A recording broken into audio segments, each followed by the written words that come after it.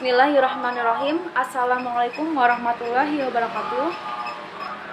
Pada kesempatan yang baik ini Mari kita panjatkan puji syukur kehadirat Allah subhanahu wa ta'ala Yang mana telah memberikan nikmat dan hidayahnya kepada kita Sehingga bisa berkumpul dalam keadaan sehat pada hari ini.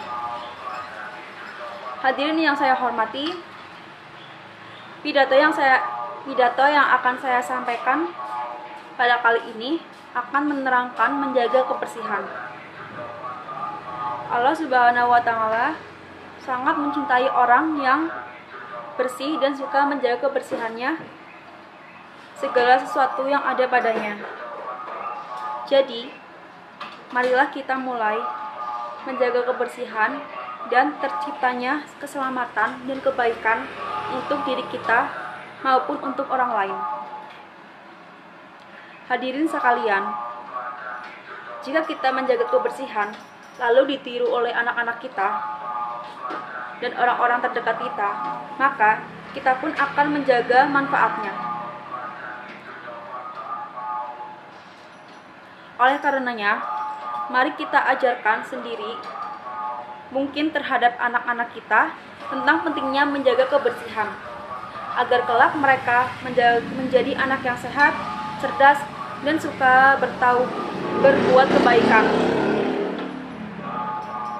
Dengan mengajarkan menjaga kebersihan kepada anak-anak, diharapkan mereka bisa mandiri dan terbiasa mengatasi hal-hal yang sulit untuk diselesaikan.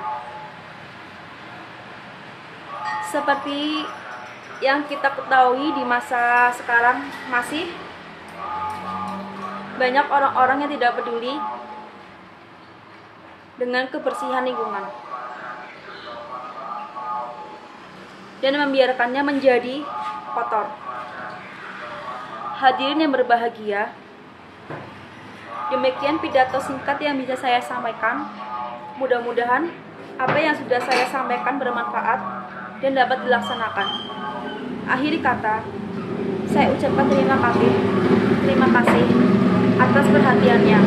Wassalamualaikum warahmatullahi wabarakatuh.